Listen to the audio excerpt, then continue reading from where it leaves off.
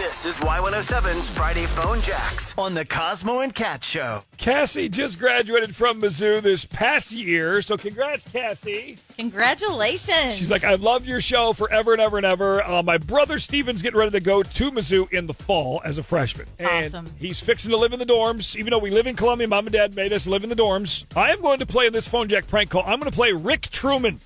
Hey. Rick. Fitting last so name, right? me up. Yeah. Rick Truman. Uh, I work in housing and, and student life in the dorms, and uh, we got to get Stephen ready to find a roommate or two or three. Oh, no. Hello? Yes, hi. Is uh, Stephen available?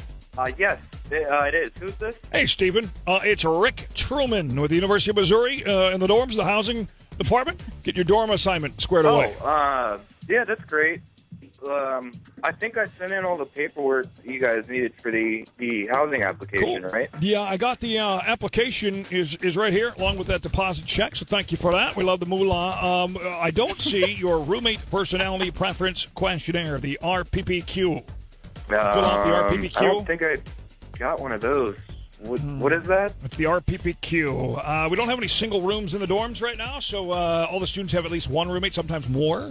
And we try and match you with the roommates with similar personality traits, so um, that you have the best chance of you know getting along and Um, making friends. Okay, and- that sounds good. yeah. But I don't, RPPQ. I don't think I saw that here in that the form in my package here. It says MIZ RPPQ. Uh, we can do it on the phone if you got a couple seconds. Uh, real fast. It won't take more than like maybe 90 Uh, seconds, sure. two minutes. Yeah, okay. Yeah, that'd be fine. Sweet, dude. Okay, let's um, let's jump right in here. Uh, name, address. I'll fill those in. For where's my pen, Stacy? Uh, all right. Let's see here. Uh, your height and weight. Uh, well, I'm 5'11 and I weigh about 185. okay, one eight five. Hair color and eye color, Stephen. With a V E N. Really? Yeah. Do you really need all that? It, it, it's part of the PPQ, uh, the RPPQ, the roommate matching uh, program here. We'll put all this information into the computer. It'll beep, beep, beep, spit out a roommate for you, and uh, we'll get you all matched up. So, Okay. hair color, Um, eye color, I have brown hair excellent. and hazel eyes. Hazel eyes. Okay, those are all of the physical questions. Now let's get into the uh, personality profile. What's your uh, what's your field of study going to be? What are you majoring in at the Um, old right Mizzou? now, I'm undecided. Okay, indecisive, tentative. Stephen is hesitant. Not Whoa, sure whoa, whoa. Hey, future. I'm not indecisive. I just haven't picked a major yet. Okay, it's okay. It's okay. You're wishy washy, and we just want to pair you with somebody that's equally as wishy washy and hasn't picked a major yet. And uh, let's see. Question two. Uh, we have a number of international students here. Would you be comfortable rooming with a student who doesn't speak English? I suppose I'd prefer, you know, someone I could communicate with. Okay. Does not like foreign exchange students. Oh no! Hey, that's, that's not what I said. I, I just meant that it'd be a little bit easier, you know, have a roommate I could, you It know, would. speak the same language Sure. with. Yeah. Okay. Uh, would you prefer to be on an all male floor of the dorm or a uh, co ed floor?